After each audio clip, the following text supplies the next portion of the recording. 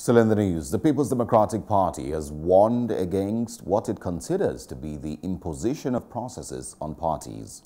Its National Publicity Secretary, Mr. Kola Ologbodiyan, has released a statement saying the PDP and other political parties have the right to decide the form of primaries to adopt in picking candidates for elections. Ologbodiyan says the PDP is shocked over the passage of a Harmonized Electoral Act Amendment Bill which mandates parties to use direct primaries. Hello, hope you enjoyed the news. Please do subscribe to our YouTube channel and don't forget to hit the notification button so you get notified about fresh news updates.